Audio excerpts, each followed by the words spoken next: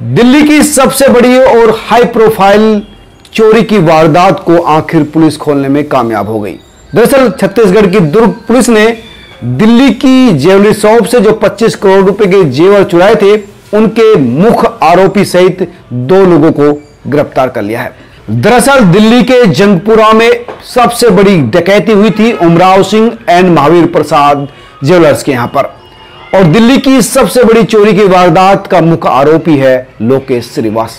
और दिल्ली की सबसे बड़ी चोरी की वारदात का मुख्य आरोपी है लोकेश श्रीनिवास। इसने दिल्ली में इस चोरी की वारदात को बड़े ही सातिराना ढंग से अंजाम दिया था। और इसके बाद ये फरार हो गया और पहुँच गया छत्तीसगढ़ के भिलाई में स्मृति नगर और वहीं रहने लगा। जाँच में लगातार पुलिस जुटी हुई थी, लगातार दबी से दे रही थी और छत्तीसगढ़ की पुलिस की मदद से दुर्ग से इसको गिरफ़्तार कर लिया गया और इसके पास से 18 किलो सोना जब्त किया है। इस सोने की कीमत 15 करोड़ बताई जा रही है। यानी आधे से ज़्यादा की रकम इसके पास ही थी।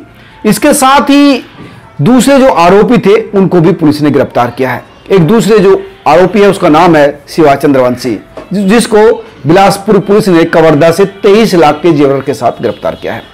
भिलाई पुलिस द्वारा दिल्ली पुलिस को मामले की जो सूचना दी गई थी, उसके बाद ही ये रायपुर पहुँच गए थे। और इसके बाद रायपुर पुलिस टीम और दिल्ली पुलिस की टीम देर रात दुर्ग पहुंचकर इस वारदात को अंजाम देती है और इनको गिरफ़्तार कर लेती है। दरअसल बिलासपुर पुलिस की टीम पहले से ही आरोपी खोज में जुटी हुई थी और दुर्ग के आसपास दबिशे दे रही थी, दुर्ग में ही मौजूद थी। और जैसे ही इसकी लोकेशन ट्रेस हुई, इसको इसके घर से गिरफ़्तार कर लिया। तीनों टीमों ने संयुक्त अभियान चलाकर छापेमारी की थी और चोरी का सामान भी बरामद कर लिया और इनको भी गिरफ़्तार कर लिया।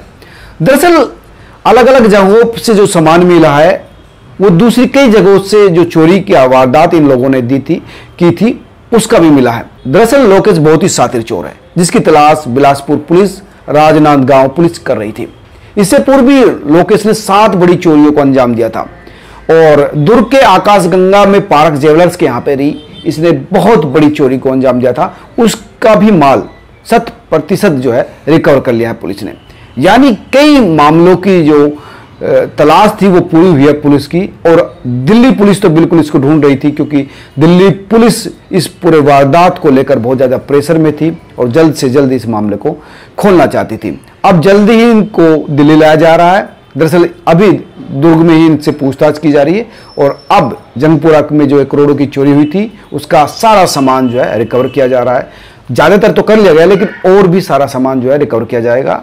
इसमें 18 किलो सोना और हीरे तो इसके पास से ही मिले यानी एक बड़ी वारदात का खुलासा संयुक्त रूप से दिल्ली पुलिस और छत्तीसगढ़ की पुलिस ने किया है। दोस्तों, आप क्या सोचते हैं, ज़रूर बताएँ। नमस्कार।